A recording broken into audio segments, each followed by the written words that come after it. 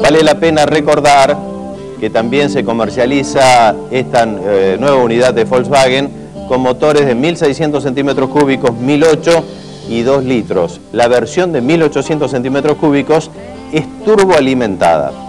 Uno de los principales cambios del nuevo Golf está en los faros delanteros, lo que decía recién José, con luz de giro incorporada y de una transparencia poco habitual. Las ruedas, grandes, como vos lo decías recién José, 195-65 por 15. Y en el interior tenemos el volante de cuatro radios con airbag que es la parte central y regulación en altura. ¿Qué tal es la posición de manejo, Héctor? Eh, muy buena, eh, se puede obtener muy buena visibilidad hacia adelante, regulás el volante para arriba, para abajo, lo alejás, lo acercás y la butaca tiene todos los movimientos menos el apoyo lumbar. Bueno, tiene ahí en el centro un práctico portaobjetos posavasos que está justamente debajo de la, de la tecla de la luz intermitente, la caja de velocidades de 5 velocidades, una guantera de muy buen tamaño. ¿eh? Buenísimo. Con airbag también en la parte delantera. Y yo creo que acá viene algo destacado, José y Héctor, ¿no? Eh, lo que es el diseño interior de este auto con esos apoyabrazos. Sí, apoyabrazo central delantero que se regula en altura, cosa que no es nada común ver. Y, y, cómo se rebaten los asientos traseros. Se rebate el respaldo, se levanta también lo que es el cojín, el asiento realmente propiamente dicho, y esto se transforma casi en una pickup. Sí, sí, sí, realmente le da mucha más amplitud al baúl que es un poco restringido. Sobre el costado izquierdo del panel se ubican los comandos de las luces, también de regulación de los espejos retrovisores, realmente muy bien equipado. El baúl tal vez no es lo más destacable de este auto, ¿no? Eh, exacto, pero ahora en algunos casos hay tendencia a privilegiar a los pasajeros en contra del baúl, cosa que es aceptable.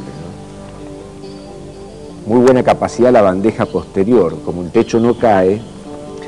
El motor es un 4 cilindros diésel de 1896 centímetros cúbicos, dos válvulas por cilindro, inyección directa y turbocompresor con intercooler que le entrega 90 caballos de potencia.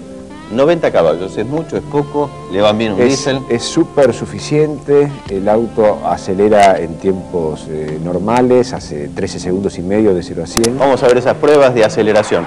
¿Me decías que acelera de 0 a 100 en cuánto? 13 segundos y medio aproximadamente. Para un turbodiesel es pero fantástico. Sí, sí, sí. Necesitó 18 segundos para cubrir los 400 metros con partida detenida. Va muy bien en el slalom, ¿eh? Te da una seguridad permanentemente el auto. Van las cuatro ruedas apoyadas perfectamente. Imagen que usted ve, siempre hacemos este comentario, ¿no? ¿Para qué sirve ese slalom? Bueno, es un poco la maniobra que por ahí usted tiene que hacer cuando tiene algo imprevisto, ¿eh? Ni fuerte de Braga, ¿eh?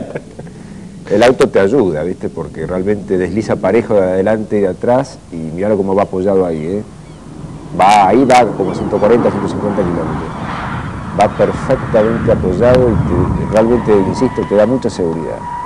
La suspensión delantera del Golf es del tipo McPherson con brazos triangulares transversales y amortiguadores de doble acción. En la parte trasera es independiente, con cuerpo anti-autoestabilizante, resortes helicoidales y amortiguadores montados por separado.